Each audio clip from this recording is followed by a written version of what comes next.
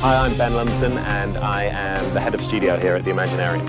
Imaginarium was set up with the premise that we could be a centre of excellence for the art and craft of performance capture in Europe. Performance capture is a fantastic technique, it's a fantastic set of tools that gives you life and soul going into a character. It works in conjunction with traditional keyframe animation, which is in itself a fantastic skill set. But performance capture, I would say, is a new art form or relatively new, certainly in the world of films and video games.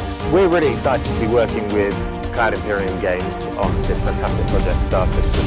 It's a really exciting project for us to be involved in, um, working with Chris, who's a visionary, and his fantastic team, who have a huge scale and ambition for, for what's a very exciting project. My name is Steve Bender and I'm the animation director at Cloud Imperium Games. One of our goals in Star Citizen create as realistic of a world that we can. One of those ways of doing that is to utilize motion capture and performance capture as a tool to allow us to be able to create a whole lot of motions, a whole lot of situations, whether you're on a planet that's very wealthy or religious or a nightclub or things like that. That gives us the ability to make a whole lot of content and to make unique experiences on each planet. Hi, my name is Michael Barclay. I'm the lead level designer at Pleasant So as lead level designer, I've been brought down to consult on the, on the environments that we've worked on at CIG, trying to add as much expertise as I can to you know, guide the motion sets that we're going to be recording, where the performances are actually being shot, you know, what kind of atmosphere and what kind of uh, emotion we're trying to convey in each part. So first time I've been on a motion set. You know, Phil Bella. Yeah, so we've uh, come over this week and figured out how the way it works. It's been an It's, it's just the process involved. You know, we'll, we'll, we'll go off and write a, you know, like a list of animals, but we'll just go funky. You know, like your parrot walks up the door and but then like Steve's writing like, you know, need more info. Like, what's the backstory to the character, why is it, easy after what's his motivations. I'm basically to you're writing uh, most of the scripts, characters, planets, backgrounds. Sort of heading up that aspect and you know working with the design team and stuff like that. I've only been on one motion capture shoot before, but it's just it's really fascinating to see uh, how immediately you can see the humanity brought into CG characters, uh, and you know particularly the guys here, Imaginary type environments. They're just seeing the levels that the UK creating over the past few months. Actors moving through spaces and characters playing up talking about So the really exciting thing about this project for us is that we're streaming directly in Engine using our pre-visualization tools where we're streaming a, a virtual skeleton using our capture straight into Builder, which in itself then streams to uh, the engine, the game engine. You can see in real time, very close to the final result. It's been an exciting uh, week in the sense that we're, we're learning different things about the way that we're going to be working together. One thing that excited me a lot uh, over the last couple of days was uh, Mike sitting on the sandbox machine and he's, he's the level designer. He's actually been designing levels uh, in a bespoke way, dependent on, on what we've been doing on set and that's a, a, very cool, new and interesting way of working that has never been done before. Being able to see the characters move around the environments um, with high fidelity animation, uh, which is being streamed to the engine at real time, uh, has been a massive help for us. Uh, level designers get to see how the characters are actually going to engage with the space, and we can go back and take that experience to continue to develop those spaces.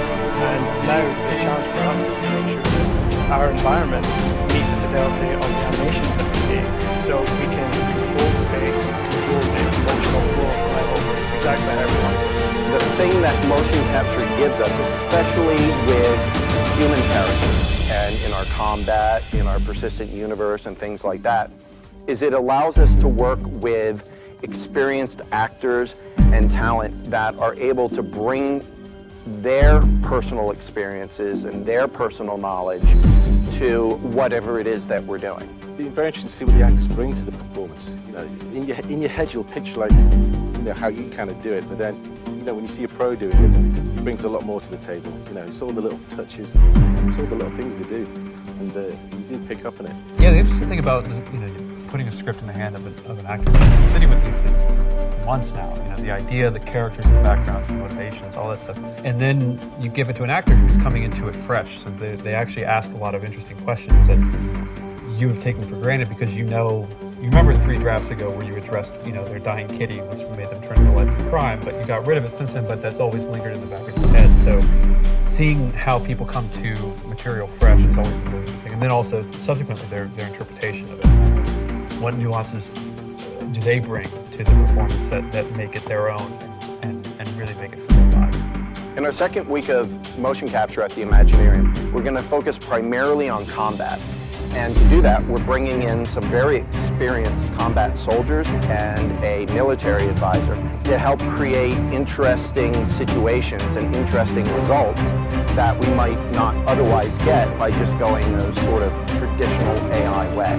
We've been talking about how do we realize some of the aliens and Star Citizen. And one of the things that we're going to test on the motion capture set is what happens if we have a experienced stunt actor come in and work through some of these motions for the aliens.